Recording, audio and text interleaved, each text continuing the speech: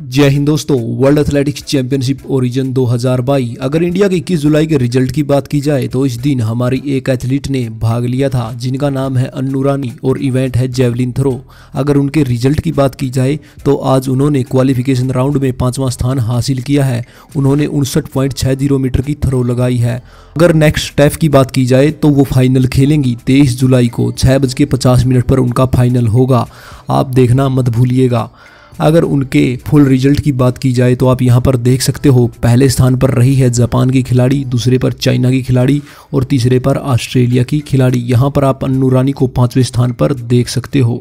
देखना मत भूलिएगा उनका इवेंट फाइनल और तेईस जुलाई छः बज के पचास मिनट पर।